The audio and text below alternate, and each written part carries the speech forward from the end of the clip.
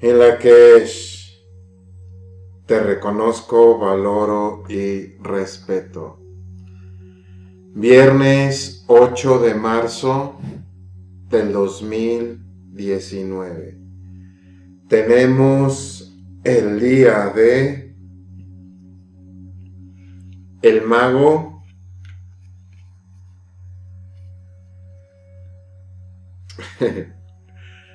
autoexistente. Can Ish. El Kin o día número 134 de los 260 Kines o días del calendario sagrado Maya Solkin. El mago Ish es el sello solar Maya número 14. El mago son los chamanes son las chamanas en la cosmovisión maya. Son esos seres que conocen la luz, conocen la oscuridad, son conscientes de esta dualidad, es la sabiduría, es el conocimiento, son los guardianes de los secretos, una de las características de esta energía en luz es la integridad.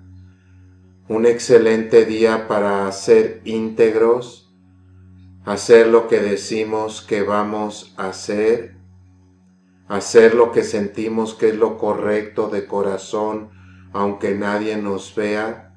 Estamos en un maya, el mago sabe que esto es una ilusión, es un maya, no se pierde especialmente en esta onda del mono. Es muy importante porque nos perdemos. Nos perdemos especialmente con lo material.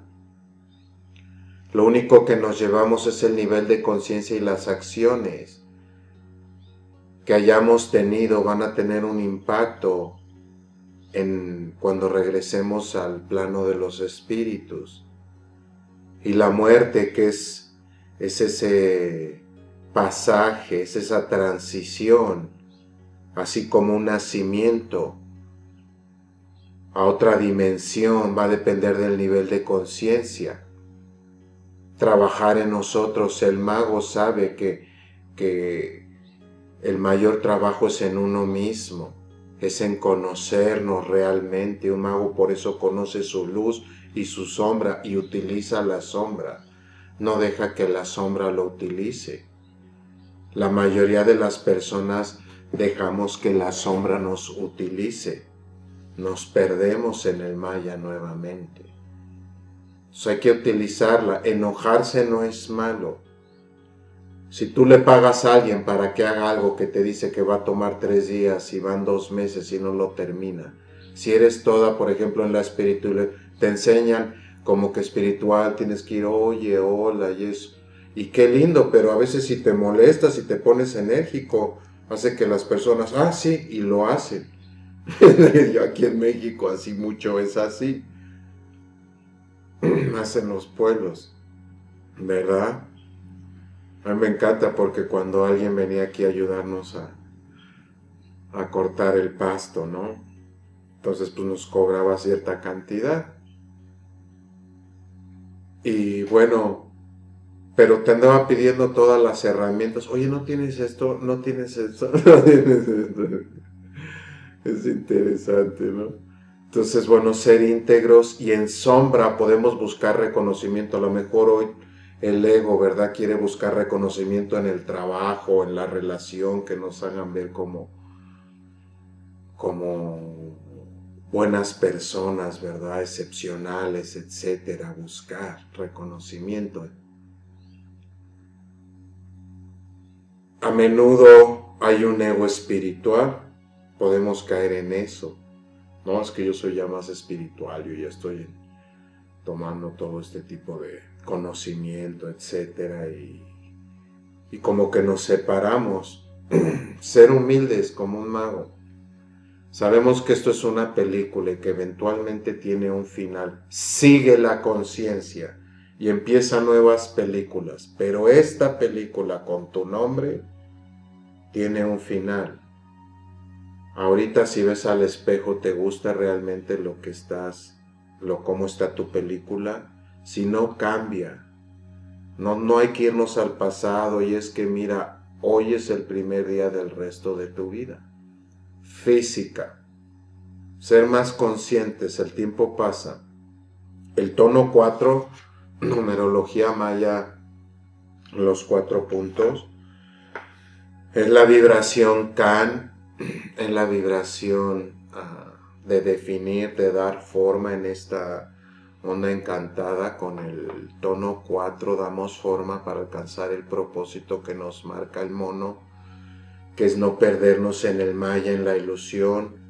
Es muy probable lo improbable. A mí me pasó inmediatamente situaciones, ¿no?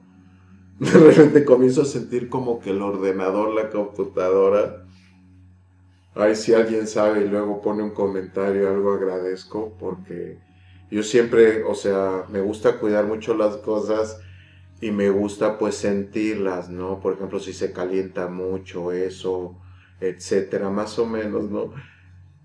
Y bueno, desde hace un par de días así como que sentí que se estaba calentando como un poco más de lo normal y ya la tengo que llevar a servicio para que le limpien especialmente lo de adentro y el ventilador y todo, ¿no? Ya ves que son unas llaves como de estrellitas especiales, yo no sé cómo hacerlo, la verdad. Y bueno, tengo una persona que lo hace, nada más que tengo que bajar y eh, que pues no es algo así súper complicado, pero de alguna manera hay que hacerlo y comencé a ver dije a lo mejor esto. Y luego como conecté con un cable de 10 metros a, la, a, la, televisión para poder hacer grande la imagen. No sé, eso obviamente tiene que jalar una corriente y eso ya no sabía si era eso. Pero bueno, es no tomárnoslo tan en serio porque la mente puede ser, no, y tienes que llevar, no, y cuidar. Sí, así es entonces, como tranquilo, todo sí la voy a llevar cuando tenga tiempo, pero ahorita no voy a poner toda mi, ya mi atención en eso. Voy a checar que no se sobrecaliente o algo, porque a lo mejor yo también ya hace más calor y todo. Ya comienzas entonces no tomárnoslos tan en serio y en verdad que fluimos. Y bueno, lo hacemos con el mago, ¿no? Que acabo de hablar, ser atemporales, vivir el aquí y ahora, íntegros, hacer lo que decimos que vamos a hacer. Definir especialmente ciertas situaciones, cerrar ciclos, nos cuesta quizá terminar alguna relación, algún trabajo que ya no nos gusta, es fácil, no, es que mira, estoy muy agradecido, agradece, obviamente, si tienes un trabajo, pero comienza a hacer lo que amas de alguna manera para que luego puedas hacer el salto o el cambio como quieras y no lo sientas tan pesado, pero porque lo más valioso es el tiempo o sea, quien posee tu tiempo posee tu mente, quien posee tu mente posee tu vida realmente, porque te dice qué hacer y todo. Entonces, nada más para estar atención, definitivamente hay momentos que sí necesitamos un trabajo y todo, yo he estado ahí, pero puedes pasar y, por miedos no lo llevamos, no hacemos ese cambio. En la energía guía es la energía del perro autoexistente. K Ok, el perro, Ok es el sello solar maya número 10, aquí lo tenemos. El perro nos recuerda la lealtad, es el amor incondicional, son los compañeros de camino. Cada vez nos acercamos más. Yo desde este espacio, que puedo pasar muchísimo tiempo, días literalmente sin salir a ningún lado, salgo aquí, hago cosas y todo, pero la verdad, o sea, me super agrada, ¿no? Y, bueno, pero gracias a, este medio de la internet tengo, conozco personas maravillosas como ustedes que vibran similar. Si estás viendo esto y lo has visto de alguna manera varias veces, lo vas siguiendo y todo, estamos vibrando y estamos creando una masa crítica porque es donde va tu interés. Si ahora ya, ya podemos escoger más gracias a esto y en largas distancias conocer personas y conectarnos y compartir y apoyarnos, que es maravilloso y ese es el perro, compañeros de camino. Reconocer a nuestros compañeros de camino, compartir, pero evitar apegarnos, porque el perro se puede apegar, se puede volver posesivo, controlador, y en la relación de pareja presta atención a los celos. Ni un poquito de celos es bueno, realmente, o sea, es una, una emoción densa, ¿verdad? Es miedo realmente. Trabajar en eso, a lo mejor no te das cuenta, pero presta atención si estás en una relación de pareja especialmente. El kin análogo es el don del día y es el don de la serpiente autoexistente, Kan Chichan. La serpiente Chichan es el sello solar maya número 5. La serpiente Aquí la tenemos. Chichán. La serpiente, Chichán. La serpiente es muy importante en la cosmovisión maya, porque la serpiente está muy relacionada a lo terrenal, a lo físico, a lo material. Tiene que ver con nuestro cuerpo físico, con nuestra energía sexual. La mayoría de las personas se confunde amor con sexo. Si hay buen sexo, maravilloso, wow, de aquí soy, especialmente los hombres. Y es muy diferente. Alcanzar mayores niveles de conciencia a través del cuerpo físico y escuchar a tu cuerpo, prestar atención a ese dolorcito, ese malestar, etc. El cuerpo habla, pero la mayoría lo negamos. Responder a las situaciones en vez de reaccionar, hoy es, es un don, quizás en alguna situación, alguna discusión, en el trabajo, en la relación, etc. Te dan ganas inmediatamente el ego, dile lo que sientes, qué se cree. Pero si respondes más y utilizas la inteligencia emocional, vas a ver cómo la vida cambia porque comienzas a controlar más. No podemos, no controlamos nada más si respondemos o reaccionamos y la mayoría reaccionamos como una serpiente que instintivamente te ataca, ¿no? prestar atención al cuerpo físico. El kin oculto es el poder oculto y es el poder de la mano planetaria, la Hun Manik. La mano es el sello solar maya número 7, aquí la tenemos, ese es mi sello. La mano hace, realiza, sana, son las herramientas espirituales, sirve, es la sanación, Poder oculto es en sanar esas heridas del pasado, sanarnos realmente, perdonarnos a nosotros mismos. Es el autoconocimiento, no hay mayor sabiduría. Esta información, cuando la escuchas constantemente, te ayuda. Son valores de alguna manera, características que podemos ver en esta dualidad y nos hace más conscientes. Entonces cuando comienzas a escuchar y todo eso te ayuda más porque a lo mejor estás de alguna manera dándote cuenta, por ejemplo, que hay algo que sanar en uno mismo y comienzas a perdonar, a verlo, decir, ya llegó momento de soltar. Las herramientas como esto, espirituales, las lecturas, todo eso nos ayuda de alguna manera, pero no a pegarnos, ¿verdad? No está el poder en la herramienta, está en nosotros. Los cristales, yo amo los cristales, son conciencia, amo las piedras básicamente. Ángel y Joana, estoy seguro que cuando vinieron aquí se dieron cuenta del amor que tengo, ¿verdad? Porque casi tengo nada de ropa y todo es mínimo lo que poseo, un sartén, de todo como un par de cucharas, un cuchillo nada más, todo porque es así y me encanta minimalista, así como...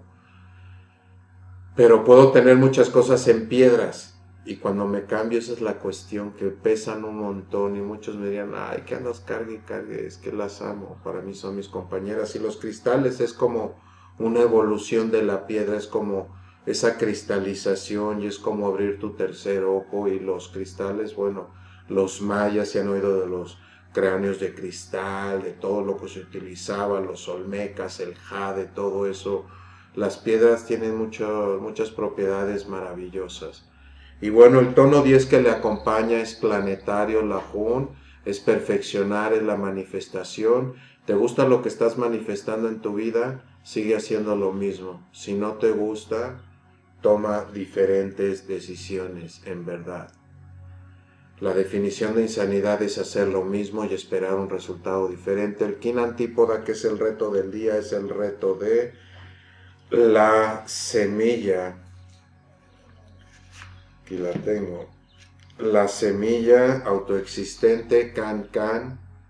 Y la semilla es el sello solar maya número 4, representada por el grano de maíz en la cosmovisión maya, alimento sagrado mesoamericano una semilla es rica en proteínas, en nutrientes y es consciente de su potencial.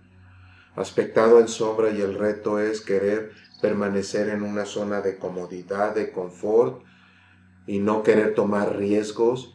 El mayor riesgo en la vida es el de no tomar algún riesgo, permanecer como una semilla que no rompe las cáscaras. Estamos en el castillo azul oeste del quemar, que son los grandes cambios todavía el cambio no produce dolor, es la resistencia al cambio lo que produce dolor. Aquello que resistimos persiste con la misma intensidad que lo resistimos.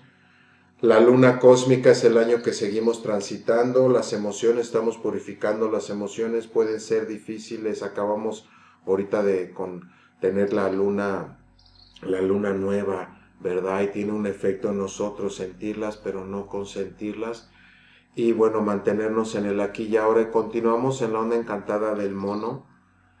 El mono, estamos en el peldaño aquí número 4, en esta onda encantada del mono, ah, del mono magnético.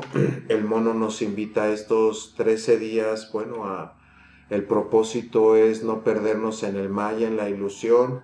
Es probable lo improbable. Si llega a pasar, acuérdate y trata de hacerlo mejor. Es como si supiera, no que es que lo vas a traer, uno diría, ¿no? Si estás pensando en eso, pero estás consciente de que si algo llega a pasar así, de alguna manera vas a hacer lo posible por no reaccionar y todo. De alguna manera, nada más ser consciente de ese para no estar pensando y que, que atraigas, ¿no? Pero de esa manera cuando pasa, entonces es maravilloso, me encanta la gente que vende aquí en los pueblos una camioneta con un megafono, no les importa el escándalo, colchones,